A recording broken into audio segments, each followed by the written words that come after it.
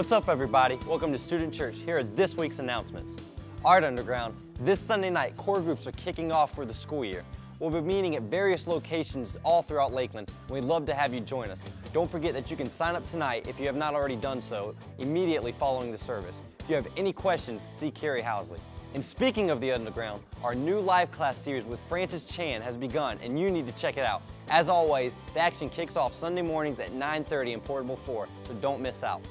All right, JVers, we've got an awesome all-nighter planned out for you guys a week from Friday. We'll be hanging out all night long from 7 p.m. on Friday till 7 a.m. on Saturday. The cost is just $10, and first-time guests get in for 5 Make plans to come out and hang out with us. It's going to be awesome.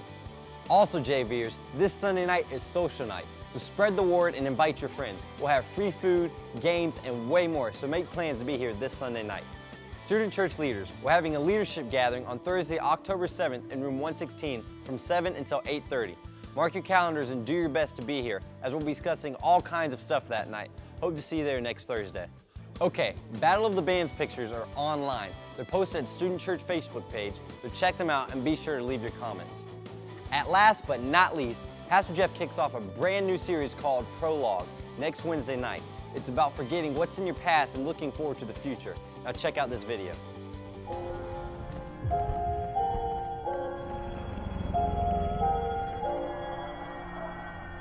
My past is not a memory. It's a force at my back.